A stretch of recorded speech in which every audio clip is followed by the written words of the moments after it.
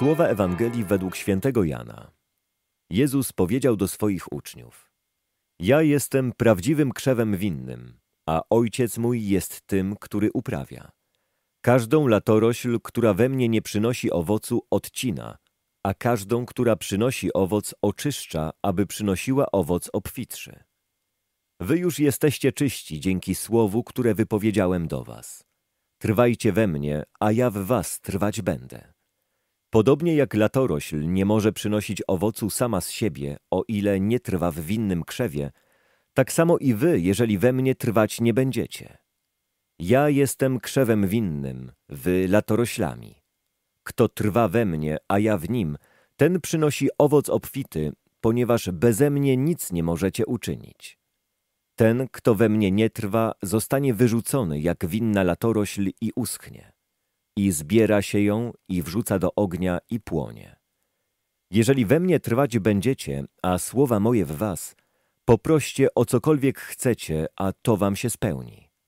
Ojciec mój przez to dozna chwały, że owoc obfity przyniesiecie i staniecie się moimi uczniami.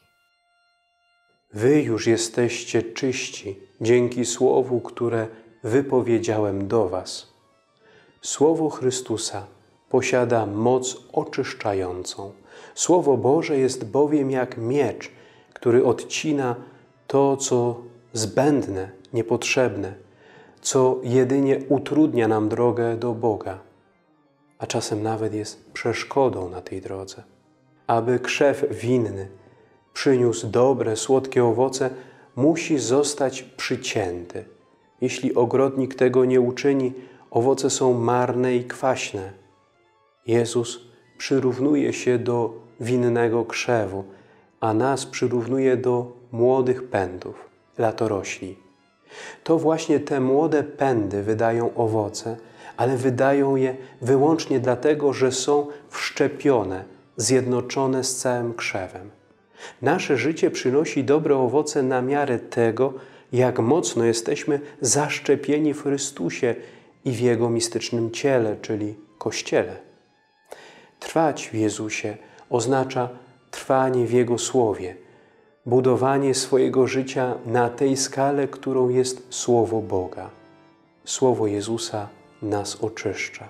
Słowo Jezusa jest życiodajną wodą, dzięki której wzrastamy. Słowo Jezusa jest tą mocą, dzięki której nasze życie nabiera sensu i blasku poprzez owoce, które rodzi. Czym mocniej jednoczymy się z Jezusem, tym nasze życie staje się jakościowo lepsze.